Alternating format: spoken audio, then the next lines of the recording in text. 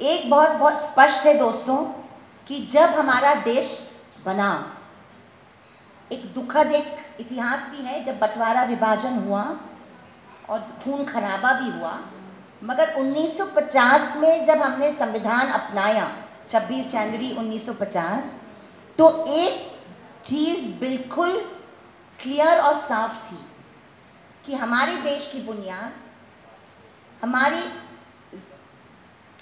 नागरिकता की बुनियाद, हमारे पूरे भारतीय होने की बुनियाद, न कोई कोई जात, न कोई धर्म, न कोई लिंग, न पैसे पे आधारित होगी, मगर समानता और बराबरी पे ये आधारित होगी। और ये एक बहुत बड़ा एक बुनियादी एक सोच भी थी, और लोगों ने इसके लिए संघर्ष भी किया था। ये भावना जो थी, राष्ट्रीय आंदोलन से उभर के आई थी नेशनल मूवमेंट से उभर के आई थी कि हर भारत के नागरिक यहाँ का नागरिक बन सकती है या बन सकता है। कोई मज़हब या कोई जात या कोई पैसा या कोई लिंक तय नहीं कर सकता कि कौन भारतीय है या कौन नहीं है। तो ये बिल्कुल एक साफ़ बात आज भी वैसे ही है, जैसे 1950 में था। अगर हम हमारी प्रस्तावना को देखते प्रियम्बल जो हमारे सिविक्स में हमको पढ़ाया जाता है सिविक्स की किताब में स्टैंडर्ड सिक्स में हमको पढ़ाया जाता है। और वो पढ़ना भी आज के माहौल में बहुत ज़रूरी है, क्योंकि जब हमारे संविध मैं तो कहती हूँ कि 2014 के बाद एक ऐसी सरकार हमारे संवैधानिक पदों पर बैठी है, जो खुद संविधान में नहीं मानती। क्योंकि ये भारतीय जनता पार्टी की सरकार है नहीं, ये तो राष्ट्रीय स्वयं सेवक संघ की सरकार है, जो बुनियादी स्तर पे एक तरफ़ से हमारे संविधान को नकारती है। तो ये कॉन्ट्रडिक्शन से हमको झेलना है और मुकाबला करना है। समझना बहुत ज़रूरी है कि ये प्रस्तावना जो हमारी प्रियम्बल है, हमारे लोग we the people of India हम भारत के लोग, हमारे में पूरी शक्ति ये देश देता है और इसीलिए हम इलेक्शन में किसी को चुनते हैं या नहीं चुनते हैं। हालाँकि इलेक्शन किस तरह होता है, पैसे का रोल क्या है, वो अलग बात है, मगर बुनियादी स्तर पे the sovereignty of India rest within its people मतलब हमारे लोगों के ऊपर ये देश बनता है, किसी और के कहने पे नहीं. और हमारे संविधान में आर्टिकल पाँच से लेके आर्टिकल ग्यारह में, अनुच्छेद पाँच से लेके अनुच्छेद ग्यारह में नागरिकता का सवाल वहाँ पे साफ़ नागरिकता के सवाल के बारे में स्पष्टीकरण है. ये हमें समझना ज़रूरी है। तो एक बात हमारे संविधान कहता है कि जब संविधान बना, उस वक्त जो भी यहाँ पे पैदा हुआ था या हुई थी, पैदाइशी हक, नागरिकता का एक पैदाइशी हक 1950 में सबको दिया गया। और ये पैदाइशी हक है, आज भी है, मगर कुछ उसमें कुछ बदल आए हैं जिसके बारे में मैं आपको बताऊँगी। अनुच्छेद 11 आर्टिकल 11 कहता है कि हमारे सांसद को एक अथॉरिटी दी गई है संविधान में कि वारंवार टाइम पे टाइम अगर आपको नागरिकता को लेकर कुछ बदल लानी है तो आप ला सकते हैं। सांसद पार्लियामेंट मतलब बातचीत करके डिस्कशन करके, खुलेपन से एक चर्चा करने के बाद आप कुछ अमेंडमेंट्स ला सकते हैं, या कुछ कानून बना सकते हैं। तो अनुच्छेद 11 को लेकर हमारा नागरिकता का एक कानून 1955 में बना। 1955 का सिटीजनशिप एक्ट हमारा हमें अधिकार देता है यहाँ का नागरिक रहने का, और उसके बारे में समझना ज़रूरी है। 1955 के एक्ट तीन चार चीज़ हमें याद रखना बहुत ज़रूरी है। ये कानून हमें ये अधिकार देता है कि उन्नीस सौ सत्तासी तक अगर मेरी पैदाइश हो 1900 1947 से लेकर 1987 तक अगर मेरी पैदाइश हो, आज़ादी का, की तारीख और सतासी की तारीख तो पैदाइशी मेरा हक है नागरिक बनने का, भारतीय नागरिक बनने का। सतासी के बाद अगर मेरी पैदाइश है, जैसे बहुत सारे लोगों की है तो सतासी के बाद अगर मेरी पैदाइश है तो कानूनी ये कानून कहता है कि ज़रूरी है कि माता या पिता, ये दोनों में से एक यहाँ के पैदाइशी होने चाहिए सतासी के पहले। ये ज़रूरी है। और वो पैदाइशी उनके पास दस्तावेज़ होने चाहिए। एक और अमेंडमेंट आया 2004 में। और वो अमेंडमेंट कहता है कि 2004 के बाद अगर मेरी पैदाइश होती है 2004 के बाद तो मेरी माँ या बाप तो माँ या बाप में से एक तो भारतीय नागरिक पैदाइशी स्तर पे होने ही चाहिए साथ साथ दूसरे जो है माँ या बाप, वो अवैध प्रवासी नहीं होने चाहिए मतलब इलीगल माइग्रेंट नहीं होने चाहिए। तो ये बदल आया कानून में जो लाया गया सांसद में बहस करने के बाद। अवैध प्रवासी कौन? इलीगल माइग्रेंट किसको कहते हैं? जो जिसके पास पासपोर्ट नहीं हो या कोई वैलिड डॉक्यूमेंट नहीं हो, भारत के अंदर आने जब भारत के अंदर वो आए, तब उनके पास डॉक्यूमेंट न होने के बावजूद वो आए। या वो आने के बाद उनका पासपोर्ट एक्सपायर हुआ या वीज़ा एक्सपायर हुआ या डॉक्यूमेंट एक्सपायर हुआ और वो रह गए तो उनको अवैध प्रवासी कानून के हिसाब से कहलाया जाता है। तो ये स्पष्ट है, ये हमें समझना ज़रूरी है कि नागरिकता एक तरह से पैदाइशी है और इस तरह की है। दूसरे भी दो तरीके हैं नागरिक बनने के लिए भारत में। वो नेचुरलाइजेशन और रजिस्ट्रेशन नेचुरलाइजेशन का मतलब कि 12 साल अगर आप यहाँ रह जाते हैं बड़े बड़े नाम ऐसे रह चुके हैं यहाँ पे। एक हमारे ड्रॉ द्रेज नाम के बहुत जाने माने इकोनॉमिस्ट है जो गरीबों के बीच में झारखंड में काम करते हैं। वो बाहर के रहने वाले हैं, मगर रह रह के उनको भारतीय की नागरिकता दी गई बारह साल के बाद। दूसरा भी एक तरीका है रजिस्ट्रेशन मतलब आप अप्लाई करो और आपको छः साल या बारह साल के बाद आपको मिल सकता है। हमारी भारत ने कभी भी यूनाइटेड नेशंस के रेफ्यूजी कन्वेंशंस के ऊपर कबूली सहाई नहीं की। मगर दुनिया भर में कई देश हैं जिन्होंने रेफ्यूजी कन्वेंशंस के ऊपर, जो बाहर के लोग आते हैं, कोई भी वजह से अत्याचार की वजह से, गरीबी की वजह से, उनके देशों में कुछ प्रॉब्लम की वजह से आते हैं तो यूनाइटेड नेशंस जो है, उन्होंने एक रेफ्यूजी कन्वेंशन दो बार बनाया है, मगर भारत ने कभी उसको, उसके ऊपर सही या सलामती नहीं ज़ाहिर की। इसके बावजूद, कई बार अंतर्राष्ट्रीय अग्रीमेंट के बाद हमारे देश ने तिब्बती लोगों को, अफ़गानी लोगों को, ईरानी लोगों को सिटीजनशिप बारंबार दिया है क्योंकि उनको लगा है कि वहाँ पे कुछ इस तरह की परिस्थितियाँ थी वो देशों में, इसकी वजह से उनको देना ज़रूरी है। मगर वो एड ऑफ़ बेसिस पे दिया गया पॉलिसी की फॉलो करके नहीं दिया गया। आसाम में कानून थोड़ा सा अलग है। ये समझना बहुत ज़रूरी है। जो मैंने आपको बताया, वो बाकी भारत के लिए है। आसाम में क्या होता है? आसाम एक ऐसा राज्य है। हमारे नॉर्थ ईस्टर्न जो नॉर्थ ईस्ट स्टेट्स हैं, जहाँ पे अरुणाचल है, नागालैंड है, मेघालय है, मणिपुर है ऐसे सात हमारे उत्तर पूर्व राज्य हैं, जिसके बारे में आप और हम बहुत कम जानते हैं, उसमें से आसाम एक है। आसाम में एक अलग ही इतिहास है, विभाजन बंटवारे को लेकर, ब्रिटिश ज़माने को लेकर, वहाँ के एक भावनात्मक एक पॉलिटिक्स को लेकर, और वो भी थोड़ा सा समझना बहुत ज़रूरी है। चूँकि वो एक बॉर्डर राज्य रहा है, जहाँ पे मतलब बाकी भी देश करीबी रहे हैं तो प्रवासी रेफ्यूजीज आना, जाना, काम करना बार बार होता रहा है आसाम में।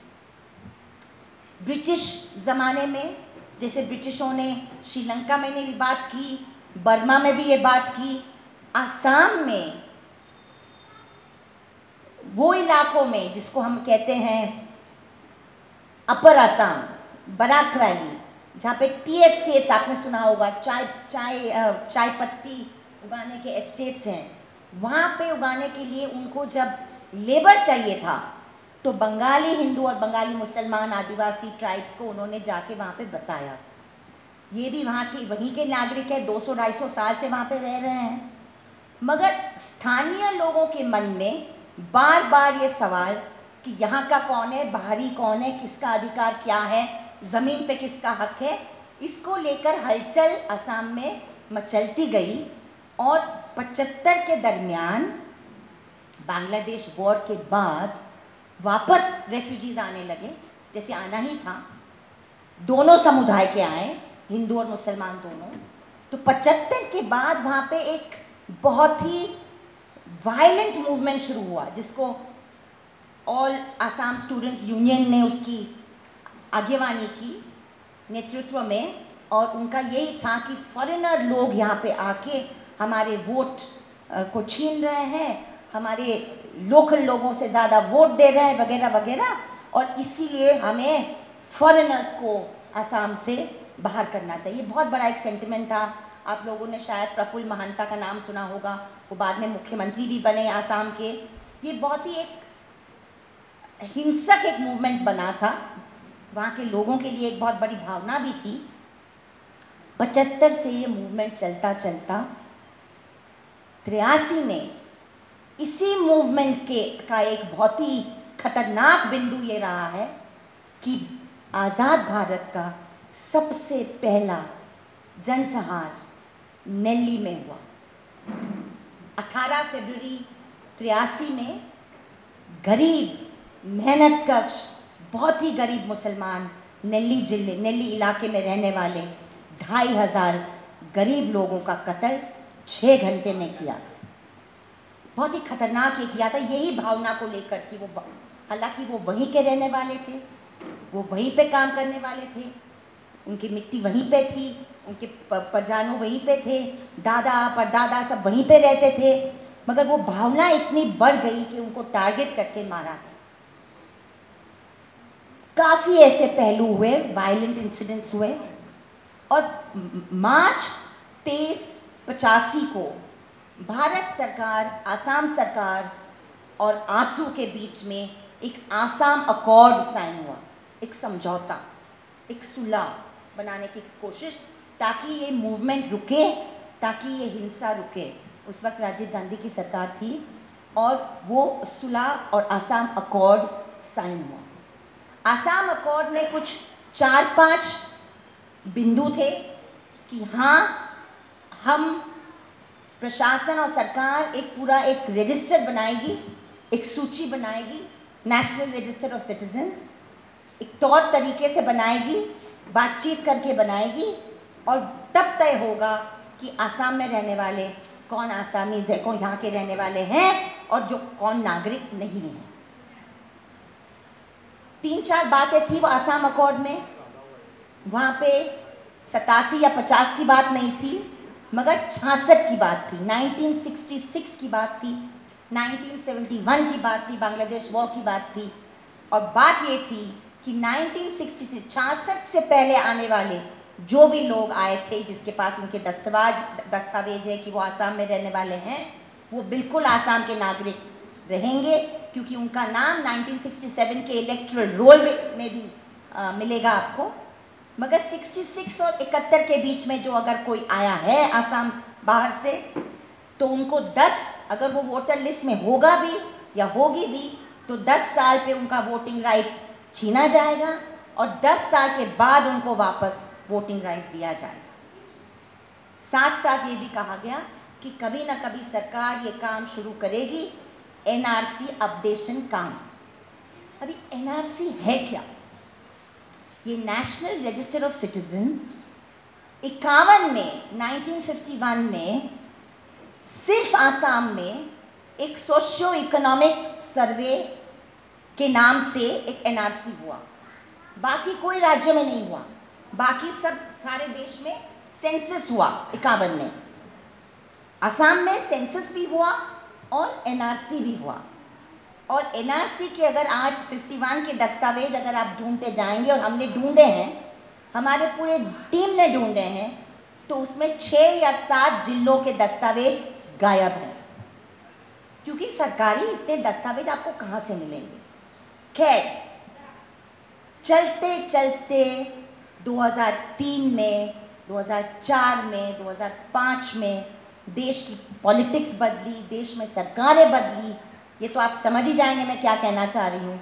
फाइनली 2013 में ये तय होता है कि एनआरसी का अपडेशन मतलब उसको अपग्रेड करने का काम आसाम में शुरू होगा।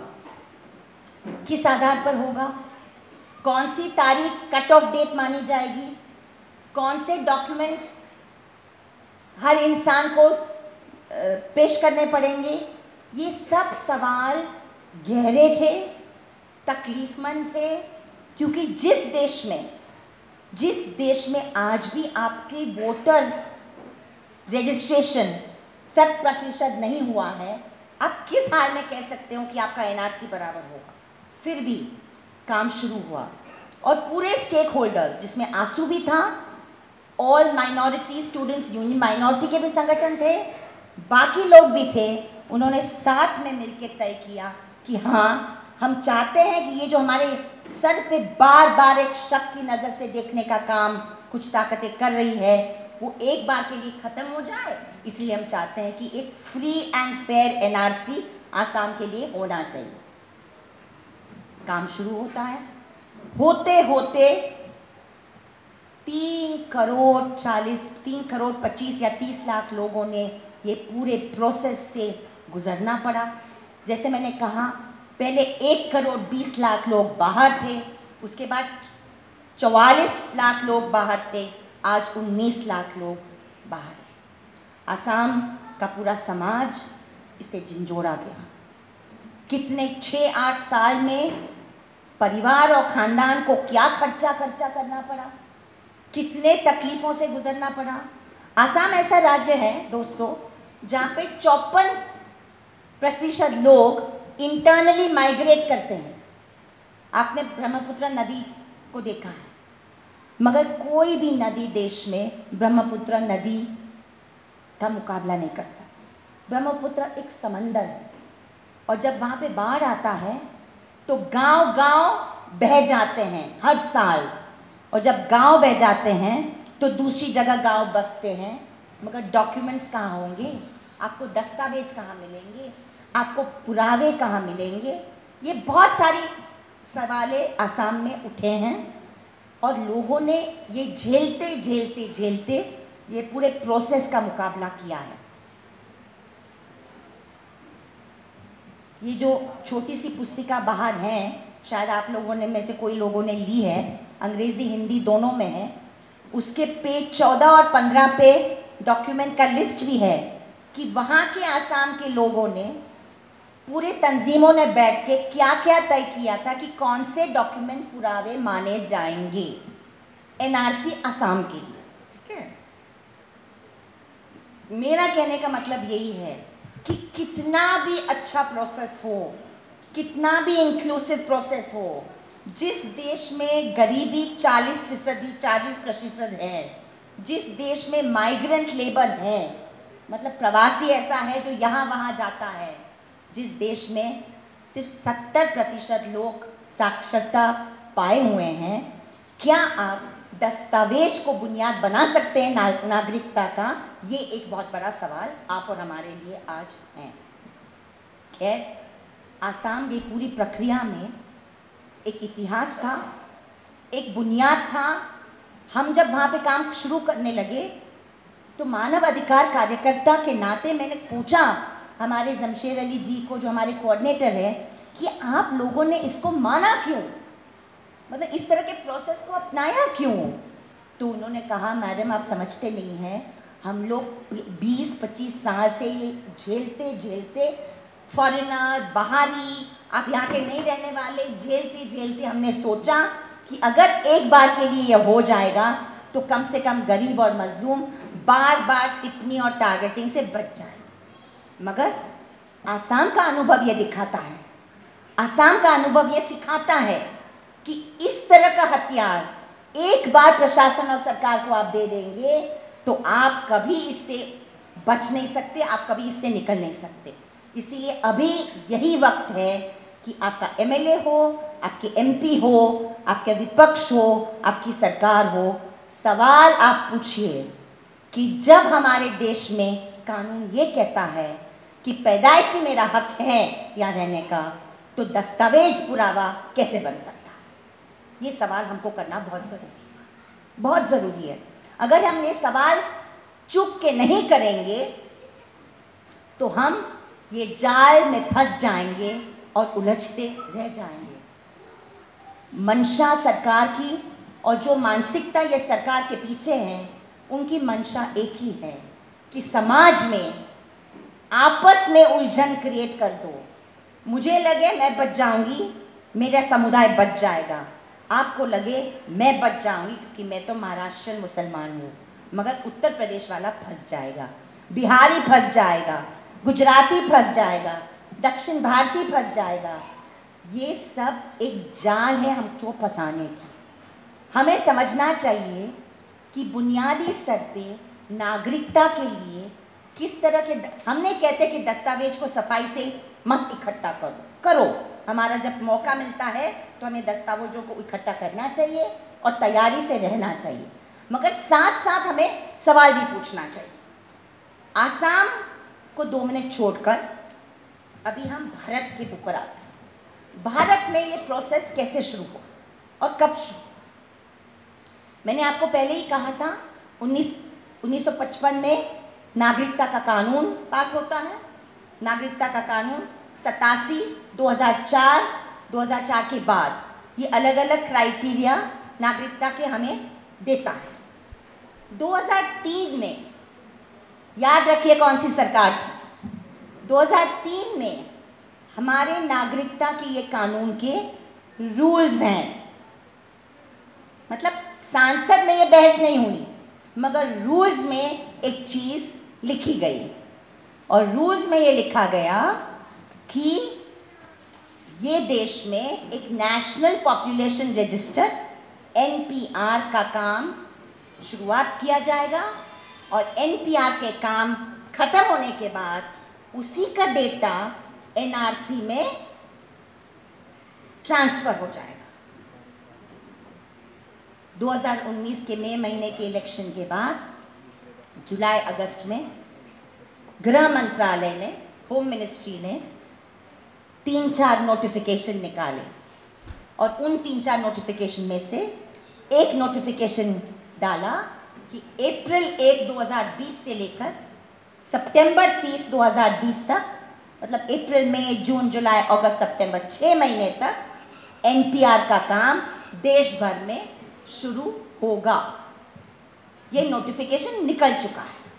इसका मतलब है कि चाहे हम इसके सपोर्ट में हो या चाहे हम इसके विरोध में हो, हमें तैयारी तो रखनी पड़ेगी कि जब एनपीआर का काम शुरू होगा, हमें क्या करना है। एनपीआर के मुताबिक कानून के मुताबिक, आसाम में जब एनआरसी के लिए लोगों को दस्तावेज़ देने पड़ रहे थे तो उनको लंबी लंबी लाइन में खड़ा होकर नागरिक सेवा केंद्र में जाना पड़ रहा बाकी भारत में ऐसा नहीं होगा। अधिकारी अपने घर आएँगे, हमारे घर आएँगे, आपके घर आएँगे और सूची क्या नाम रजिस्टर करना शुरू करेंगे। पूछेंगे यहाँ पे कितने लोग रहते हैं, कब पैदाइशी है, क्या है, क्या नहीं। और जैसे सेंसस में भी अक्सर होता है।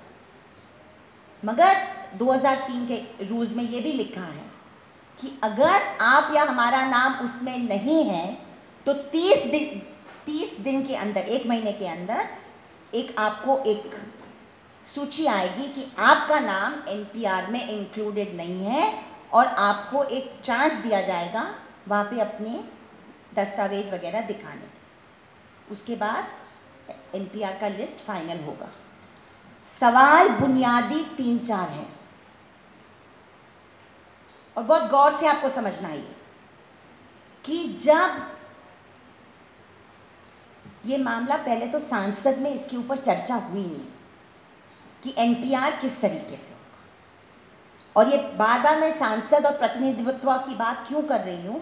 क्योंकि जब सांसद में कभी बात होती है, जैसे अभी ज़िक्र कर रहे थे भाई साहब, मेरे आने से पहले सिटीजनशिप अमेंडमेंट बिल का, कि जब आप नागरिकता की पूरी बुनियादी बदलना चाह रहे हैं और कहना चाह रहे हैं कि अगर मुसलमान छोड़ के बाकी कोई भी लोग अफ़गानिस्तान, पाकिस्तान या बांग्लादेश से भारत में आ जाते हैं तो उनको छः साल के बाद नागरिक बनने का अधिकार हम अमेंडमेंट करके दिया, दिए जाएँगे। 2016 में अमेंडमेंट लाए थे, असफल रहे, अभी कोशिश उनकी है कि वो वापस लाएँगे। अगर ये सोच विचारधारा करने वाली सरकार हमारे ऊपर राज कर रही है तो हमें ये सवाल पूछना चाहिए उनको कि जब एनपीआर का जब सवाल किया जाएगा मुझसे तो कौन से आधार पे मुझे अंदर रखा जाएगा और कौन से आधार पे मुझे बाहर रखा जाएगा? जब तक ये क्लियर नहीं होता, एनपीआर शुरू नहीं होना चाहिए। हमें ये बहस, खुली बहस, सार्वजनिक बहस मांगनी चाहिए हमारे प्रतिनिधि से। ये सीक्रेटली एक गृह मंत्रालय के नोटिफिकेशन का द्वारा ये काम नहीं हो सकता। और ये क्यों नहीं हो सकता? क्योंकि नागरिकता वो ऐसा अधिकार है जो अधिकार रखने का अधिकार है।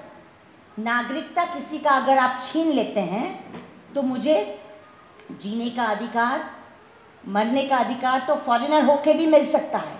मगर मेरे देश में बराबरी का दर्जा, मेरे देश में समानता का दर्जा, मेरे देश में हिंदू, मुसलमान, दलित, ब्राह्मण रहकर एक समानता का दर्जा तभी मिल सकता है अगर मैं नागरिक हूँ। सरकार सैकड़ों स्कीम्स शुरू करती है। वो मनरेगा है, बच्चियों के लिए हैं, तालीम शिक्षण के लिए हैं अगर मैं इस देश की नागरिक नहीं हूँ तो मुझे स्कीम के ऊपर कोई अधिकार नहीं होता। तो इसीलिए ये बुनियादी अधिकार है और ये अधिकार रखने या छीनने की बात अगर नेशनल पॉपुलेशन रजिस्टर के ज़रिए होने वाली है तो आप और हमको पूरा अधिकार है ये सवाल करने के लिए कि कौन से आधार पे एनपीआर में मुझे अंदर रखा जाएगा या बाहर किया जाएगा। कौन से दस्तावेज़ मांगे जाएँगे? याद रखिए, आसाम में major lieutenant general Sanaullah ji, जो आर्मी में कारगिल के जंग में लड़ चुके थे, उनको भी डिटेंशन कैंप भेजने का काम आसाम में हुआ है। जो हमारे सेना में रह, रहे हुए, हमारे राष्ट्रपति फखरुद्दीन अहमद जी, के पूरा परिवार एनआरसी से बाहर किया गया सुब्रतो दे का हाल देखा आपने? जो डिटेंशन कैंप के अंदर उनका इंतकाल हो गया। आसाम के, पहले आसाम के डेप्यूटी स्पीकर के पूरा खानदान एनआरसी से बाहर। तो कौन से पुरावे और कौन से दस्तावेज़ प्रशासन मानने वाली है, जब सेना में करने वा, सेना में जंग लड़ने वाले इंसान के भी दस्तावेज़ आपने नहीं माने तो आप किसके मानने वाले? ये सवाल पूछना हमें बहुत ज़रूरी है और यही हमारे पास समय है।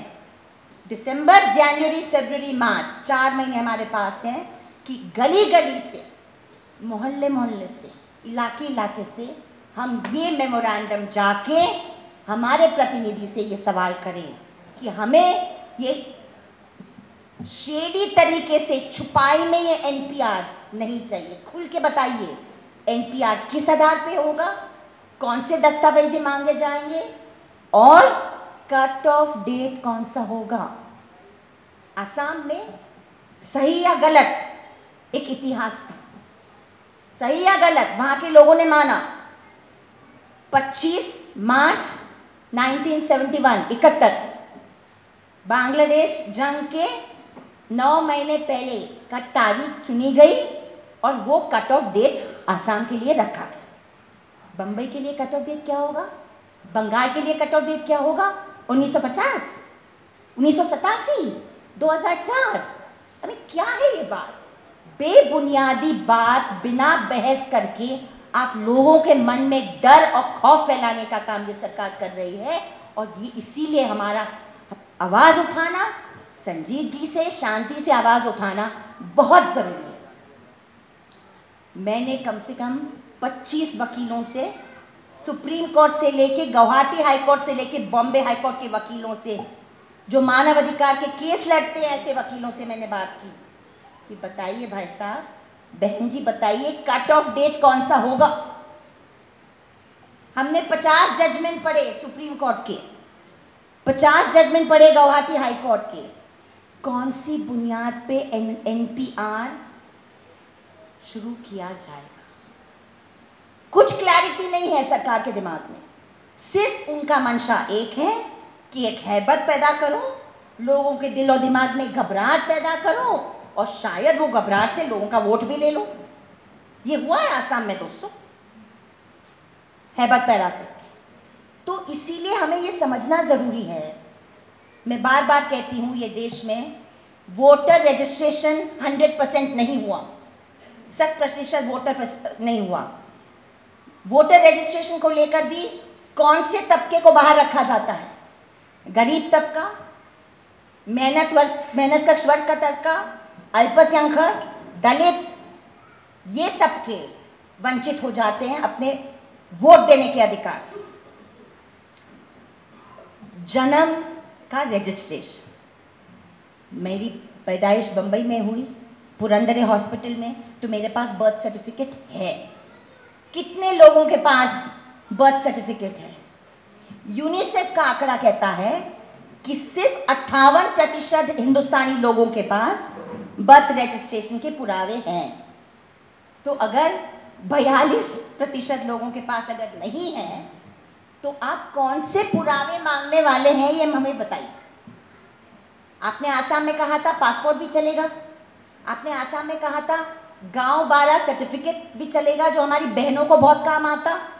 जब शादियाँ 18 साल के पहले हो जाती है तो कोई पुरावा नहीं रहता है लड़कियों का।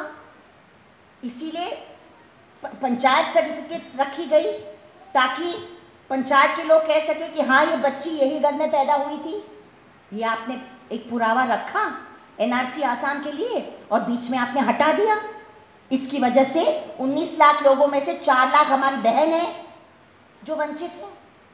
बहनों के खिलाफ, बंगाली हिंदू को आपने कहा, जो बंटवारे के बाद या बांग्लादेश वॉर के बाद आया था, या आई थी, असम में आपने कहा कि रेफ्यूजी रजिस्ट्रेशन सर्टिफिकेट चलेगा। रेफ्यूजी इमेज सर्टिफिकेट चलेगा। तीन दस्तावेज़ थे हिंदू रेफ्यूजीज के लिए। तीनों ये लिस्ट में अलाउड थे। एनआरसी का फाइनल लिस्ट निकलने पे पूरे बंगाली हिंदू लोगों के रेफ्यूजी सर्टिफिकेट को नकारा है। तो आप किसको क्या करने वाले हो? लोग मेहनत कर रहे हैं, जी रहे हैं, उनके पास सब पुरावे हैं और वो रेफ्यूजी सर्टिफिकेट क्यों आपने नकारा? ये कहते हुए कि ऑफ़िस की बैक एंड कॉपी हमारे पास नहीं है। उस वक्त का कैंप भी बंद हो गया। विभाजन के बाद जो कैंप थे वो कागज़ कहाँ से मिलेंगे आपको? वो बेचारा या वो बिचारी सुब्रोते दे या जो भी है रेफ्यूजी सर्टिफिकेट बचा बचा के रखे हैं पचास साल और आप कह रहे हैं कि हम ये दस्तावेज़ को मानने वाले नहीं हैं। दोस्तों, अगर हम आसाम का अनुभव गहराई से नहीं समझेंगे तो हमें नहीं पता चलेगा कि किस तरह की हलचल और हैबत लोगों के बीच में मच जाएगी अगर हम बिना सवाल पूछे हम सरकार को ये अधिकार दे देंगे। मैं बार बार कह रही हूँ 2003 में से रूल्स बनाए गए। सांसद में चर्चा नहीं हुई है कि एनपीआर किस तरीके से होगा। सवाल आप और हमको पूछना होगा कि एनपीआर किस आधार पे मैं एनपीआर के बाहर रहूँगी या अंदर जाऊँगी। बताइए।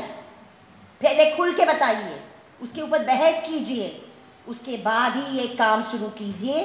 ये कोई तानाशाही देश नहीं है कि किसी ने हुक्म दिया और कुछ प्रक्रिया चालू हो जाए। लोकतांत्रिक तरीके से इसके ऊपर चर्चा होनी चाहिए। चर्चा होने के बाद अगर लोगों को लगे कि हाँ अगले बार 2020 के बाद कोई भी पैदा हो तो ठीक है। 2020 या 25 के बाद अगर पैदा होता है और बच्ची तो उनके लिए ये सब दस्तावेजी आप बना लो। मगर रेट्रोस्पेक्टिव आप बनाएँगे 1950 का डेट रखेंगे, सतासी का डेट रखेंगे 2004 का डेट रखेंगे, कुछ क्लैरिटी नहीं है, कुछ क्लैरिटी नहीं है। सिर्फ़ एक मंशा है कि लोगों के बीच में डर और हैबत पैदा करो, ताकि लोग लगे कि हम टारगेट बन गए और इसीलिए अपना पूरा एक साइकोलॉजिकल वॉरफेयर बना दिया। बंगाल में कल रिज़ल्ट आ गए, तीन बाईपोल में सिर्फ़ एनआरसी के मुद्दे पे लोगों ने हराया है, ये ताकतों को। ये मैं खुल के कह रही हूँ। वहाँ पे हिंदू बड़ा मुसलमान मामला नहीं बना। बन सकता था। बनाने की कोशिश की गई। कहा गया? कहा गया कि आपको तो हम सिटीजनशिप अमेंडमेंट बिल ला के बचा देंगे। आप फ़िक्र ना करें। आपको हम बचा देंगे। प्रॉब्लम में आएगा मुसलमान। ये बोला गया। बीजेपी के प्रेसिडेंट से, के मुँह से बोला गया। मगर बंगाल में, गाँव में रहने वाले लोगों ने समझ लिया कि 19 लाख लोग जो हमारे आसाम से वंचित हो गए एनआरसी में, उसमें कोई धर्म मज़हब नहीं है जिसके लोग बाहर रखे। ये समझना बहुत ज़रूरी है दोस्तों। हम ये, यहाँ से ये ना लेकर चले कि ये सिर्फ़ मुसलमान के खिलाफ है। नहीं एक मुसलमान का शैतान जो नॉन मुस्लिम में है, वो जगाने की कोशिश ज़रूर है, मगर टारगेट बनेगा गरीब टारगेट बनेगा मजलूम टारगेट बनेगा माइग्रेंट लेबर टारगेट बनेगा हर भाषीय, क्योंकि नागरिक को एक उलझन में सरकार डाल देगी कि आप प्रूव करो कि आप यहाँ पे पैदा हुए। तो इसीलिए हमको इसमें ये कम्युनल ट्रैप में नहीं पढ़ना है। ये बार बार मैं कहती हूँ, हम ये फिरका परस इस डायलॉग में न पढ़े। और इसको साथ में मिलके अलग अलग तबके साथ में खड़े होके संजीदगी से शांति से, कानून और रूल समझ के 10-15 सवाल करें। इतना ही कह के मेरी बात मैं ख़त्म करूँगी। नागरिकता बुनियादी अधिकार है। वो अधिकार है जो बाकी सब अधिकार हमको देता है। और इसीलिए हम इसको लाइटली ना लें, बहुत ही गंभीरता से लें। और हम और हमारी टीम बार बार ऐसा कोई इलाका नहीं है बम्बई का जहाँ पे हम लोग गए नहीं हैं। कोई भी बुलाता है, पच्चीस लोग हो बैरामपाड़ा में, या पचास लोग हो कुरला में, या तीस लोग हो मीरा रोड में, या आज की ऐसी डेढ़ सौ लोगों की जमा हो, हम जाएँगे। हमारा फ़र्ज़ बनता है कि हमारे जो आसाम में वॉल्टियर्स ने हमें जो तजुर्बा दिया है, हम तो हमारी आसाम की टीम को सलाम करते हैं। सात सौ लोगों ने जिस तरह वहाँ पे काम किया है दस लाख से ऊपर लोगों को के फॉर्म भरवाए। ऐसा गाँव और ऐसी नदी पार पार के गाँव में हमारे लोग गए हैं, सात सौ वॉल्टियर्स और इसीलिए सबसे पहले मैं आप लोगों को रिक्वेस्ट करती हूँ कि आप में से कोई अगर हमारे टीम में ज्वाइन करके वॉल्टियर बनना चाहता है इसके लिए, या बनना चाहती है, आप प्लीज़ अलग से आपका नाम डेस्क पे दे दीजिए, क्योंकि हम चाहते हैं कि हर इलाके में हमारे लोग हों जो इसको लेकर घर घर में जाके कम से कम डर दूर करें और अधिकार के बारे में जानकारी दें। बहुत बहुत शुक्रिया।